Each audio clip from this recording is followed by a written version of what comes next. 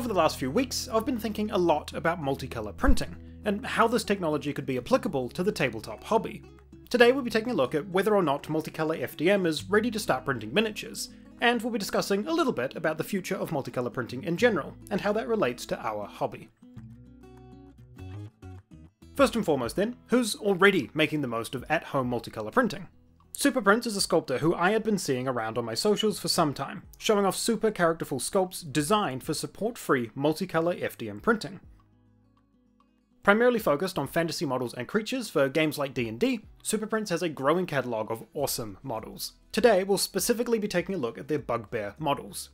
Opening these up in Orca Slicer, we can see that these sculpts have been designed from start to finish with FDM in mind, large details that can be printed with a 0.4mm nozzle at slightly thicker layer heights, with no supports required and pre-loaded with multicolour painting. Now, it's well known at this point that most FDM multicolour printing results in a lot of wasted material. Purge material that is spat out with each colour change to make sure that there is no contamination or bleeding between colours. As such, SuperPrints does recommend printing as many copies of a model at once as you can, as even with 8 to 10 models on a plate, you're likely still only seeing a 1 to 1 ratio of actual print versus the waste it produces. And with the time that it takes to swap colours, spending 22 hours to print a single model with almost 300 grams of waste, versus an extra 1.5 hours per additional copy with no extra waste created, you might as well print a few to make the most of that lost material. So immediately, we are seeing the drawbacks of current multicolour printing technologies and methods, Printing a single hero model for a home game of D&D, for example, is going to waste both a ton of filament and a ton of time. But for now, let's actually take a look at these models printed up and discuss some of their pitfalls later on.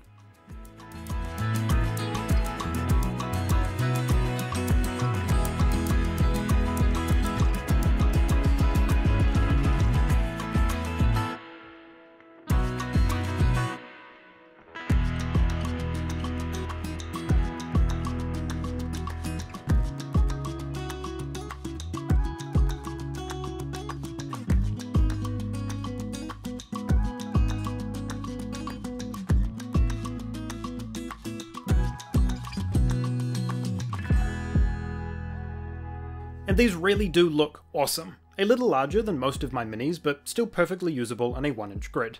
The colours came out looking great with some various matte filaments and even some marble PLA where I didn't have white at the time. I did have some minor bed adhesion issues with the marble, but that's par for the course with this particular filament.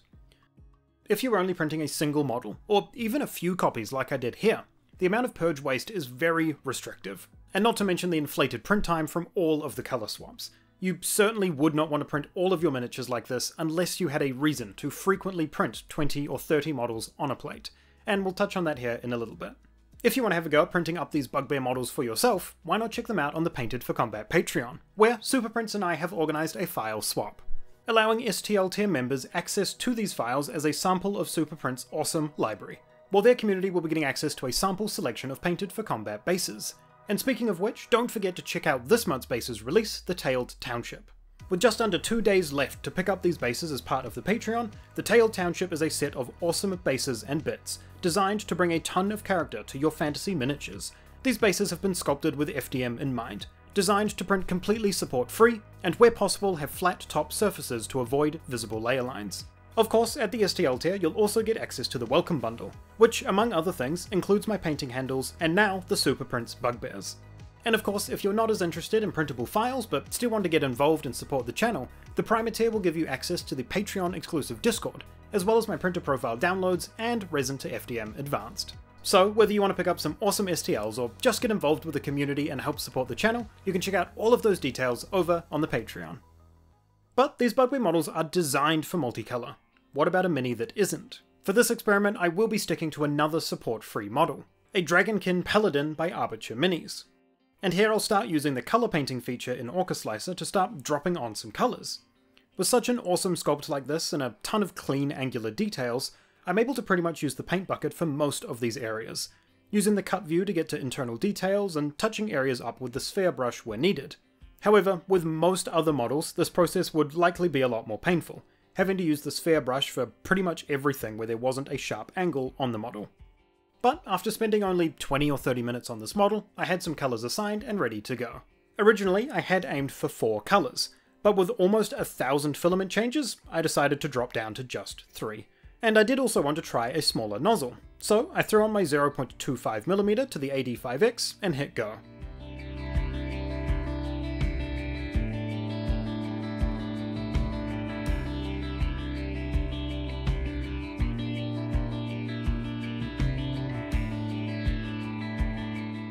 Even though this print started out great, I did have to leave this overnight, and woke up to something of a 3D printing nightmare.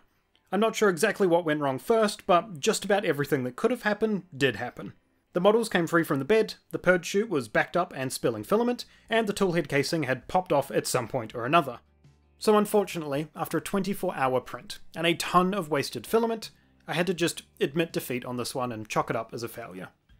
With that said, the details we were seeing are amazing, and if this print had succeeded, it would have made for a really awesome miniature. But the unfortunate fact is that this many colour changes will almost always lead to a 20 plus hour print, and there's no way that I can sit there and babysit a multicolour print for that long to make sure it works. And to me, that's just another pain point of the current technology limits. So then, where are we at? No, I don't think that multicolour FDM is ready to take over the miniature printing space, but I also don't think that we're actually that far away. This current technology, even with the waste and inflated print times, can be useful in some use cases. For print stores wanting to sell some interesting prints to tabletop crowds, or for game stores wanting to run games and let people take miniatures home with them, or sell the rest of a bill plate's worth of models. The use cases are there, albeit a little bit niche. But where I personally get really excited about multicolor FDM printing is actually the next stages of this technology which, even as I was planning and recording this video, we had some awesome news drop in this space. Firstly, the Snapmaker U1 has launched on Kickstarter, a more affordable multi-headed printer seemingly aimed to rival the Prusa XL, proving that multi-tool head colour changes are likely the way forward, and the fact that we are seeing that design making its way into more mid-range prices of at-home printing is very exciting.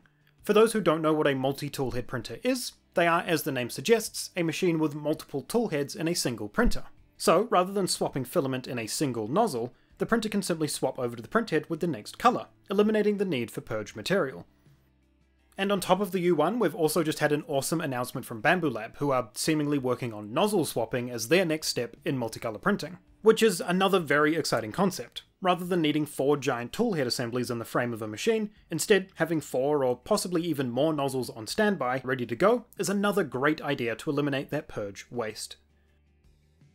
And once this purgeless multicolor technology becomes a little more widespread, I can see it having way more applications in the tabletop hobby. While printing multicolor miniatures is something that I think will catch on for people that don't enjoy the painting side of the hobby and just want to get something on the table, the biggest place that I actually see this coming into play is terrain. I would love to load up a plate of dungeon tiles, or in my case dungeon blocks, throw some colours around in my slicer and load up my printer with some matte PLAs. Pre-coloured terrain directly off the printer would be amazing, Unfortunately, with current multicolor, this just becomes so prohibited by time and waste, but would be totally viable with these purgeless time-saving options. And heck, even if you printed your terrain in multicolor like this and wanted to elevate it, you could almost certainly dry brush directly over matte PLA to have some next level terrain in next to no time.